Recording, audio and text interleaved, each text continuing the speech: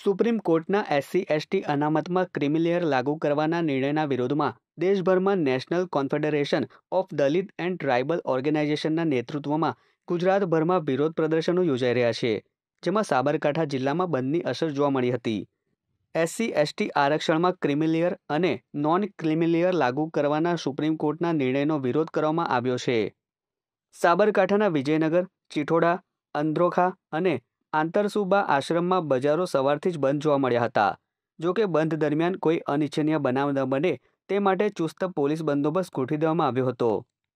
ગુજરાત રાજ્યના સાબરકાંઠા જિલ્લાના વિજયનગર તાલુકામાં અમે એસસી, એસટી, એકતા સમિતિ દ્વારા માન્ય મામલતદાર શ્રી મારફત મહામહિમ રાષ્ટ્રપતિને આવેદનપત્ર આપ્યું છે અને એ આવેદનપત્ર જણાવ્યું છે કે આ જે માન્ય સુપ્રીમ કોર્ટે જજમેન્ટ આપેલું છે, એને રદ કરી અને ભારત સરકારને આગ્રહ કરી અને પુનઃ જે અનામત હતું એ મુજબ લાગુ કરવા માટેનું આજે અમારી આવેદનપત્ર આપી અને સૌ સમાજ વતી વિનંતી છે. તો બીજી તરફ બોટાદમાં પણ ભારત બંધના એલાનને મિશ્ર પ્રતિસાદ મળ્યો હતો.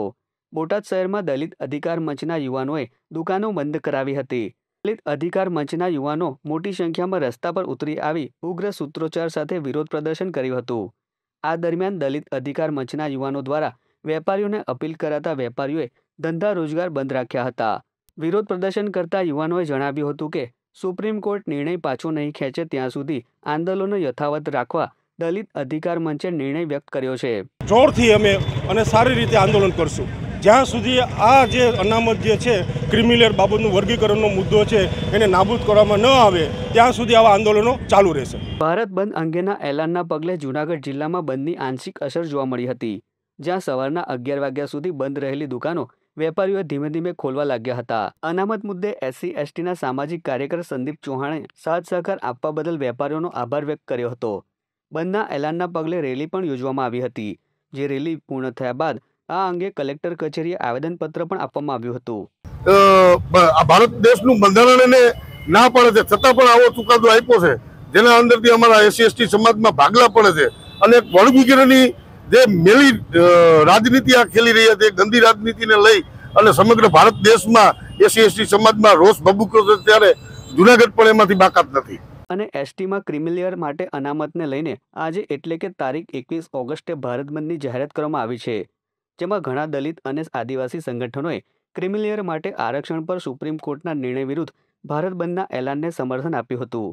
ત્યારે આજે ભારત બંધના એલાનને ભરૂચ જિલ્લાના ઝઘડિયા તાલુકાના ત્યારે આજે ભારત બંધના એલાનને પગલે ભરૂચ જિલ્લાના ઝઘડિયા તાલુકાના રાજપારડીના તમામ બજારોમાં વેપારીઓએ સ્વૈચ્છિક રીતે સજ્જડ બંધ પાડી ભારત બંધને સમર્થન આપ્યું હતું. તો તાલુકાના ઉમરલા તેમજ ઝઘડિયામાં ભારત બંધના એલાનની નહિવત અસર જોવા મળી હતી. આજે રાજપારડીની જનતાએ સંપૂર્ણ બંધ પાડી અને અમારી વાતને સમર્થન કર્યું છે. તેના માટે હું આ માધ્યમથી તેમનો આભારી પણ છું. કાલે ઉઠીને એમને પણ અમારી જરૂર હશે. અમે આદિવાસી સમાજ તેમની પડખે પણ ઊભા રહીશું. જય આદિવાસી, જય જોહાર. ઉત્તર ગુજરાતના પાટણમાં એસસી એસસી સમાજના લોકોએ રોડ પર ઉતરી આવી ઉગ્ર સૂત્રોચ્ચાર સાથે અનામતમાં વર્ગીકરણના સર્વોચ્ચ અદાલતના ચુકાદા સામે સખત વિરોધ નોંધાવ્યો હતો.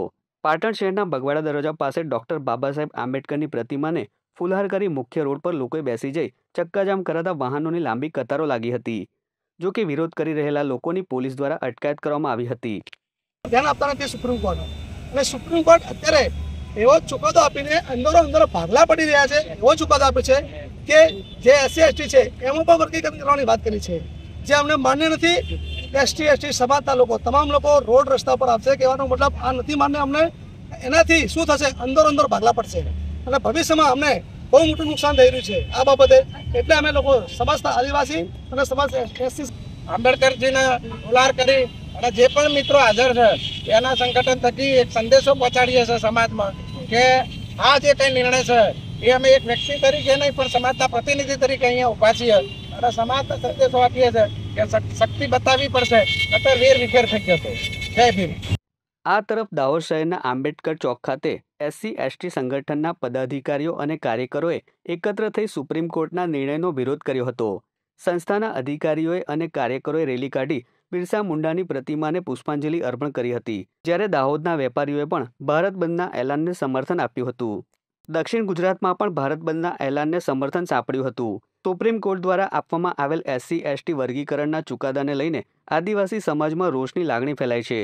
ત્યારે વલસાડ જિલ્લાના ધરમપુરમાં સંપૂર્ણ બંધ પાડીને આદિવાસી સમાજ દ્વારા વિરોધ પ્રદર્શિત કરવામાં આવ્યો હતો. સ્થાનિક આદિવાસી નેતાઓ દ્વારા રેલી યોજી તંત્રને આવેદનપત્ર પાઠવાયું હતું. તમે જોજો કે સુપ્રીમ કોર્ટે જે ચુકાદો આપ્યો છે, તેમાં એવું છે કે જે જે એક સરકારી નોકરીવાળો હોય તે ઊંચી નાતીનો થઈ જશે અને જે સરકારી નોકરી વગરનો હશે તે નીચી ના- નીચી નાતીનો થઈ જશે. આમ તો કંઈ થતું હશે કોઈ દિવસે?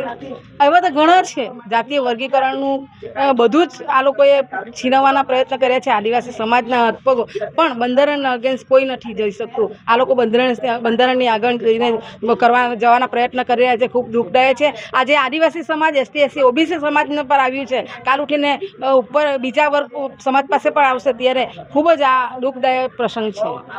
ભારત ધરમપુર બંધનું એલાન કર્યું હતું. જેના અનુસંધાને ધરમપુર સજ્જડ બંધ રહ્યું છે. સાથે અમે વેપારી મિત્રોનો પણ આભાર માનીએ છીએ કે જેમણે સ્વૈચ્છિક રીતે બંધ રાખ્યું છે અને જેમણે ન બંધ રાખ્યું, એમને વિનંતી કરતાં એમણે પણ સહકાર આપ્યો છે. માટે એમનો બી આભાર માનીએ છીએ.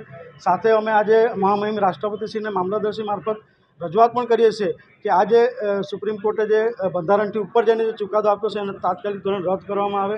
કારણ કે આ એક નાનામાં નાના માણસના હક પર તરાપ મારવાની વાત કરી છે.